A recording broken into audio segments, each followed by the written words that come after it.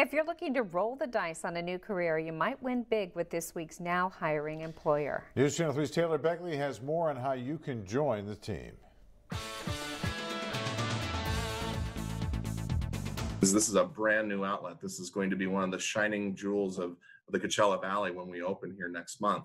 Spotlight 29 Casino in Coachella is looking to staff its new Taproom 29 brewery and restaurant.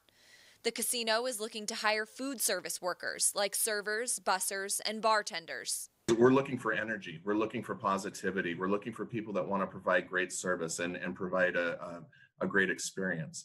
General Manager Ryan Walker says that although experience is nice, there are training opportunities available.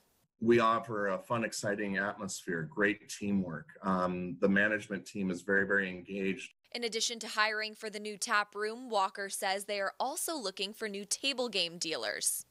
And we will train for that position. So, for a person that um, has interest in doing that as a profession, um, we are starting training on November 30th. Dealer training takes about six weeks, and anyone interested has until November 23rd to apply.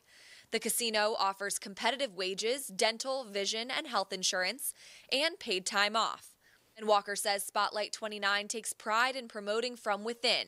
Take very much pride in harnessing the talent that we have working for us and growing, creating the bench strength, creating the opportunities. And then when the uh, opportunity for advancement comes, you know, uh, they have every opportunity to take that position.